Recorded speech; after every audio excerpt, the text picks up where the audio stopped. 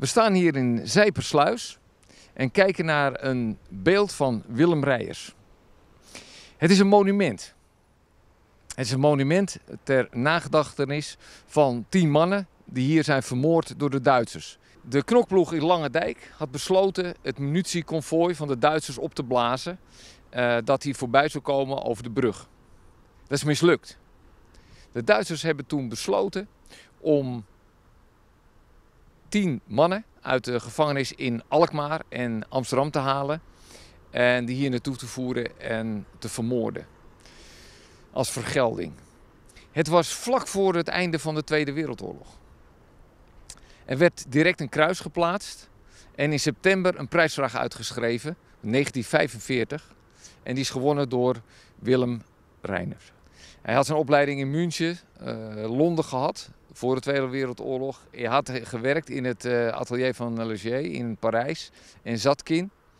Um, het was een begenadigd kunstenaar. Een heel vernieuwende kunstenaar, beeldend beeldhouwer. Hij werd voor Nederland in alle internationale tentoonstellingen werd hij naartoe gestuurd. Dit is zijn doorbrekende werk. Het is in 47 hier geplaatst. Het was meteen hot in Nederland. Het is een, uh, een expressionistisch, cubistisch beeld. Het is een hand. En uh, dan zie je bij de pols ongeveer een abstracte duif. Het is in zandsteen gehakt. Als je er naar kijkt, dan zie je hier heel mooi dat, uh, dat zandsteen bewerkt. Het loogt wat uit in de loop der tijd. Maar je ziet die op die hand en dan die duif, die geabstraheerde duif, die daar uit het midden komt. En zo mooi naar beneden, zo over die pols. En het mooie hiervan is dat het symboliseert in wijde, wijdse polderlandschap eigenlijk de hele essentie daarvan. Je kan mensen vermoorden, maar de vrijheid nooit. De achterkant van het beeld is een massief kruis. En dat is ook wel dat beeld is ook wel een mooie afsluiting, omdat Willem Reijers niet oud geworden is. Hij is 48 geworden, in 1958 is hij overleden. Hij was bevriend met Lucebert.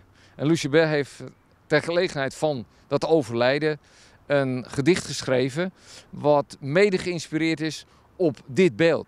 Er is geen beeld van de dood, er is alleen het levendige beeld van de opgeheven hand, die het glas bier omvat of een rug van klei.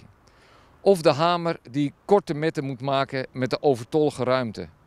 Er is binnen mijn warme vel de wereld fel, waarin het altijd goed was stevig te staan, snel te gaan over de snelweg, stevig te staan tussen voortrazende, vluchtige vormen, snel te grijpen naar een stevig lichaam dat zowel in je geest als in je handen thuis hoort.